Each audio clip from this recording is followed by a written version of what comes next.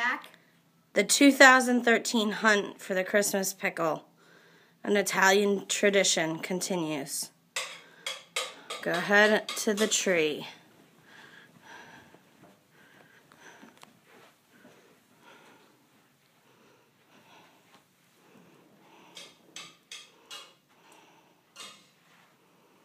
It's hard because the tree's green.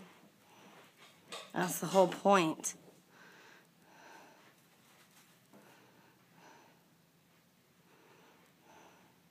In the back?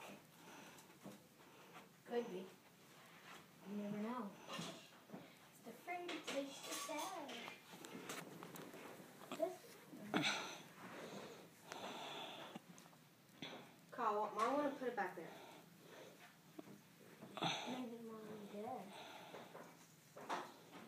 Found it. okay, bring the pickle over. Show the camera. Bring the bring the pickle over. Show them it's an ornament. It's an ornament. Okay, can you read what it says? Yes. The Christmas pickle. To start a tradition that s- certainly will last, here's a short story about about the pickle of glass. One night before Christmas, it's hung on the tree. While everyone's sleeping, it's done secretly.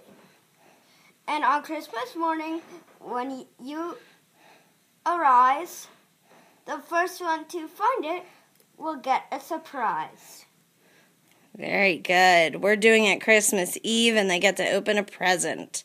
Cool. Thank you. You're welcome.